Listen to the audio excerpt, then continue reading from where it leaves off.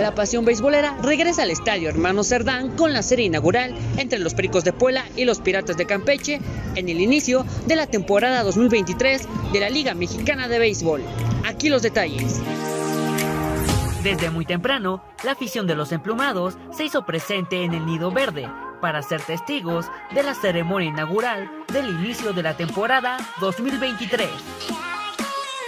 Pues la verdad que sí, tiene un gran equipo en, esta temporada los Pericos de Puebla. El regreso de Dani Ortiz, de Peter O'Brien, que son los grandes que, que van defendido con toda la, camiseta de Pericos en cuanto al bateo. En cuanto al picheo, pues esperemos de que se, se mejore,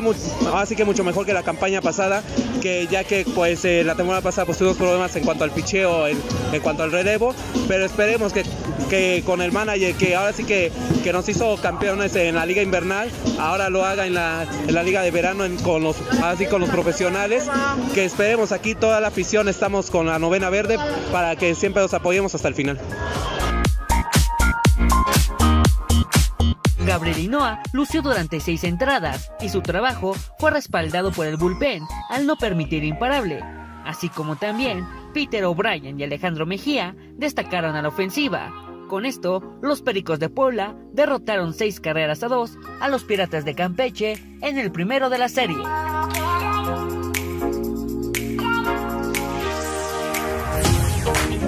En el juego 2, Dani Ortiz dejó sobre el terreno de juego a los Piratas al pegar sencillo productor de par de carreras en la parte baja del noveno inning, para darle el triunfo a los Pericos por pizarra de 7 a 6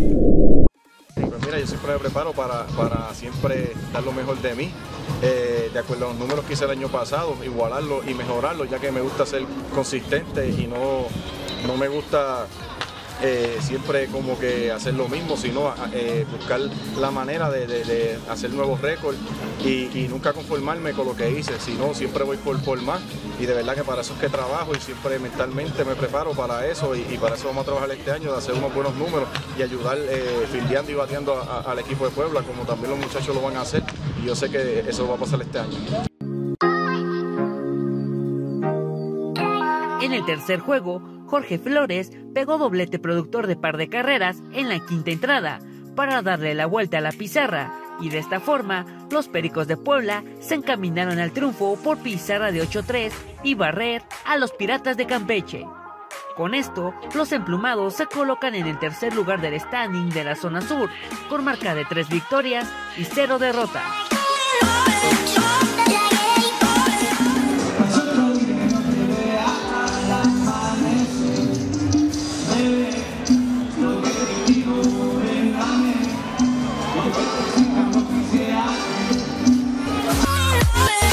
De esta manera, los Pericos de Puebla iniciaron con el pie derecho su travesía en la temporada 2023 de la Liga Mexicana de Béisbol. Para Periódico Central, informó Jesús Palma.